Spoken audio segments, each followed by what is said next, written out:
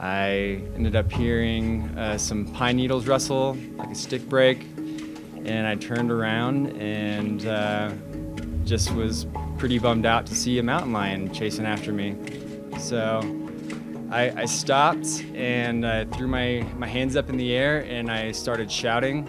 And unfortunately, the shouts didn't deter it. So it just kind of kept running and lunged at me. Um, it was going toward my, my face, so I threw up my, my hands to kind of block my face, at which point it grabbed onto my hand and wrist. And uh, from there, it started to claw at my face and neck, and that's when kind of my fear response turned into more of a fight response because I realized how close it was getting to my eyes, and it got a claw on my lip. I tried to throw it off me at that point, and then we took a little tumble down the south side of the trail, and down there just kind of had a, a, little wrestling match. At which point I was able to get on top of it, uh, pin its back legs, so I didn't get um, any soft tissue scratched out in my nether regions, and. Um, at that point, I I was grabbing around for sticks. Um, I only had my left hand free. My right hand was still locked in its jaws.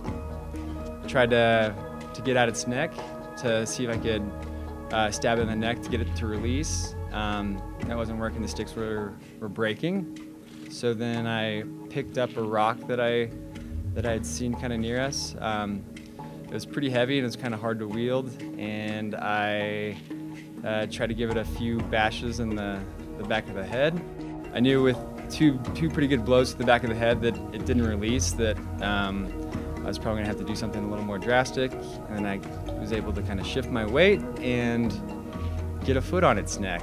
And at that point, I stepped on it on its neck with my my right foot, um, and just slowly after a few few minutes, um, I thought I'd be getting close, and then I'd start thrashing again and had a few more scratches that resulted from those those uh, thrashes at that point. And uh, I'd say uh, another couple of minutes later, it finally finally stopped moving, and then jaws opened, and I was able to kind of scramble back up the hill and get the heck out of Dodge.